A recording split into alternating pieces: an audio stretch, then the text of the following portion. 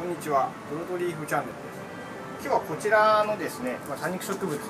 まあ、ちょっとご説明したいと思うんですけども、まあ、の室内とかでよく管理しておくとですねこういうふうに茎がすごく伸びちゃったりしてるんじゃないかなと思います。でこれはあの徒長と言われる現象でして要するに日照が足りないがためにですね、まあ、こう光を伸びてあ光を求めてこう伸び伸びになってしまう、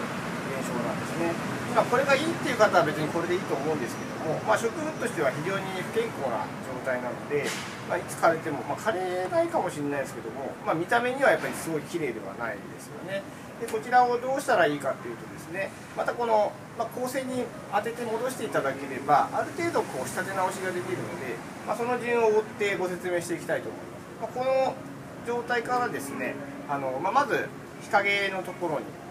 まあ、ある程度外の日陰で午前中少し日が差すような場所に置いていただいてでだんだんこう葉っぱの付き方がですね変わってきますので、まあ、そうしてから切り戻したのなんだろうって作業を行っていただければいいと思いますので、まあ、今度こちらをですねあの実際その明るい場所に置いて治っていく過程をちょっと説明していきたいと思います。よろしくお願いします。